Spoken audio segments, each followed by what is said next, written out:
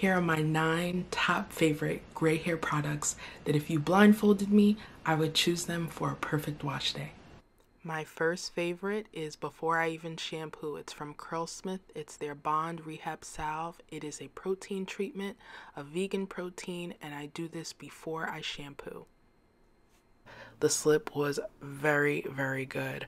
So you keep this on your hair for about a half an hour and then you proceed with your shampoo and conditioner.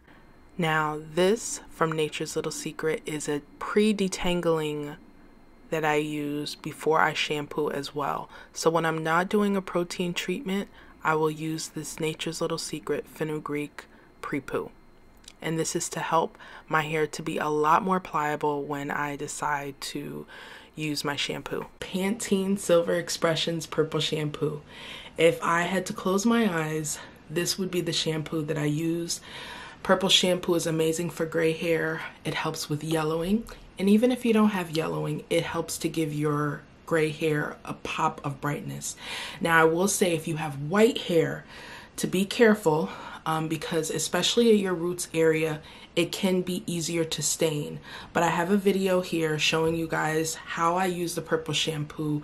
And I love this one because it's pigmented enough to give you a difference, but not too pigmented that it was stained. As you're gonna see, I emulsify it, put my hands together to make sure that it has less ability to stain the hair when you emulsify it that way.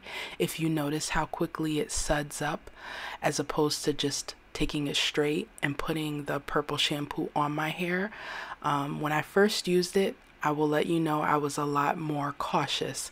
But since I've used this many times before and have not had any issue with the purple staining my hair, I'm able to just put it all over my hair. But if you yourself um, are using it for the first time, I would suggest a patch test, especially if you have white hair, which is the most porous of our hair and can easily stain. When I don't use purple shampoo, I use the I use the Pantene Moisture Boost shampoo. And this is the By the Way Purple Conditioner. It's lighter in pigment, so it has a less likability to stain your gray hair. And it's something that I use more frequently than I use the shampoo. I love so many conditioners, but this is my top favorite because of the Brahmi root that's in there. It has amazing slip, but it's definitely one of my favorite deep conditioners. And you guys already know my favorite leave-in conditioners from Kinky Curly Knot Today. I love the consistency and it helps to keep my hair hydrated under gel.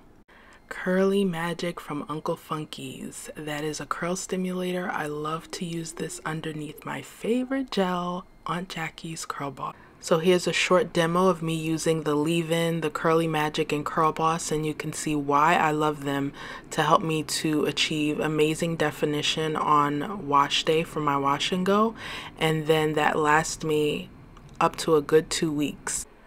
As you can see, I use the raking method for applying my gel, and I apply it first to the ends, get that nice and saturated, and then I work my way up to the roots.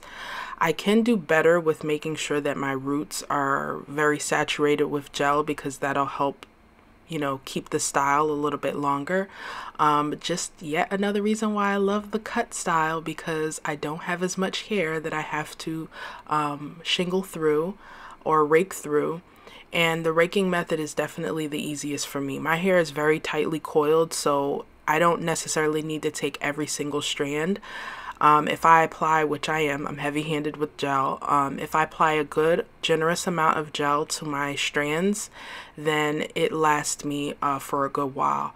One of the things I definitely love about Curl Boss is it gives a hold, but not strong of a hold like Eco Styler. And yet, I'm still able to achieve a style for two weeks. So if you guys have any questions, please definitely let me know in the comment section below. And if you hear anything, that's my little guy in the back. You guys have seen me review many products on my channel, and there are more that I like besides these nine, but many of you have asked, what's your go-to products? These are my go-to products.